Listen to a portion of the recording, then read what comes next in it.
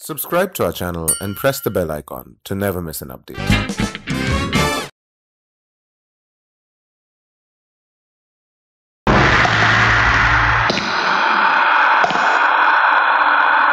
रिश्ते में तो हम तुम्हारे बाप होते हैं नाम है शहनशाह He's India's megastar. 70 plus and still relevant, still loved, still working. Did you know that Amitabh Bachchan was rejected from All India Radio at the very start of his career? So how did AB become the god that he is today? Let's check out the rise, fall and resurrection of the brand that is Amitabh Bachchan. Just like every other brand, Brand AB too went through the stages of the brand life cycle and All India Radio's loss became Bollywood's gain. When he started, AB was seen in films like Bhuvan Shome, Saat Hindustani, etc. Or rather, he was not really seen because these films were no box office hits. But then, Anand happened, and Amitabh Bachchan got an award for Best Supporting Actor. Just like a newly discovered and minted brand, AB showed the values of freshness, youth, and diligence.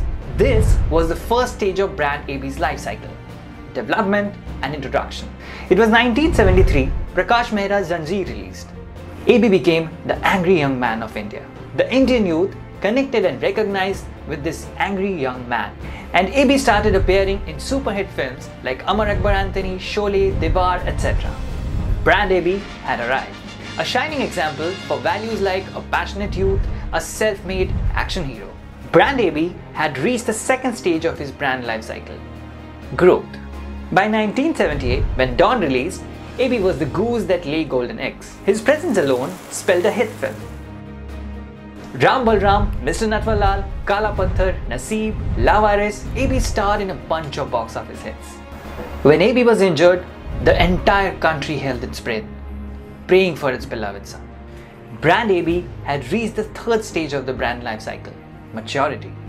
With values like youth, passion, conscientiousness, and success, Brand AB was here to stay. But just like life, Brand AB still had to face some tough times. In the 80s, AB decided to get into politics.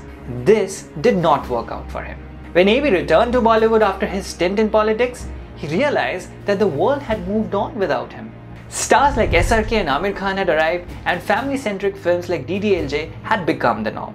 AB's films, his new company called ABCL, everything it seemed was going wrong. With values like old, redundant, corrupt, and failure, Brand AB had reached the fourth stage of his brand life cycle decline. It seemed like Brand AB was over. But wait, picture abhi baki hai mere dost. From obscurity, once again we saw Brand AB, this time on our TV screens with Kaun Banega Crorepati.